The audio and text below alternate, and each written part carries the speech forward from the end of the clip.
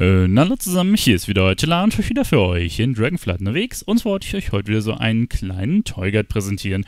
Heute geht es um ein Toy, was ein bisschen tricky ist, zumindest war es bei mir so der Fall. Wir haben nämlich ein Toy, das ihr direkt in die Toybox mit den meisten Charakteren lernt und zwar Tess Friedensblume und das könnt ihr tatsächlich nur mit einem Vork benutzen. Ich kann euch das bei meinem Main hier mal zeigen. Also es steht dran Volk äh, Worg, ne?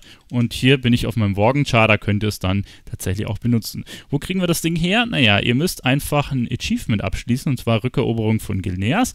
Und das macht ihr, indem ihr ähm, hier in Waldracken, ne, in dem Hauptgebäude äh, im Sitz der Aspekte, einmal mit der Dame sprecht und dann macht ihr eine Questreihe, die geht so Viertelstunde, 20 Minuten maximal. Da müsst ihr einfach ähm, nach Gilneas, werdet ihr, wenn ihr als Allianz ASW geht und mit Graumene sprecht, auch hingeflogen.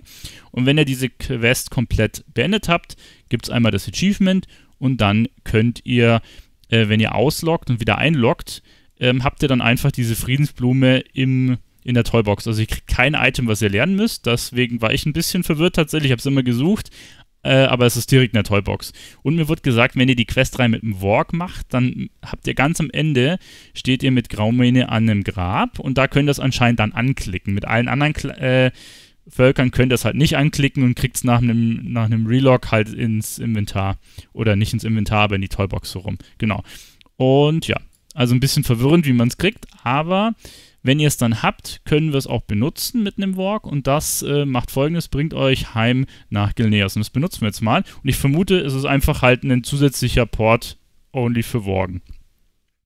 Schauen wir mal, ob wir wirklich nach Gilneas kommen. Ja, es kommt ein Ladebalken.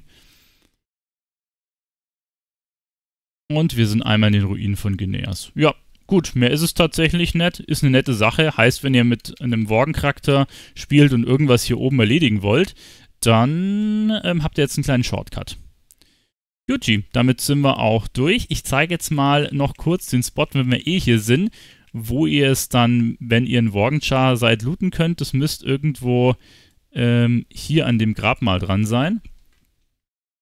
Ach, seht ihr, da kann ich sogar direkt looten. Jetzt habe ich es hab tatsächlich auch im Inventar mit dem Char und kann es aber jetzt für 100 Gold verkaufen. Uh, easy money hier, ich sag's euch.